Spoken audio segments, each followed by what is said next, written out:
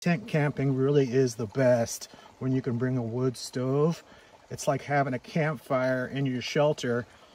Have to kill a few hours cutting wood in the forest, but that's okay. It's worth it once it gets dark. You can watch the flame dance around and feed sticks in all night. And it doesn't beat uh, making some dinner on the stove top.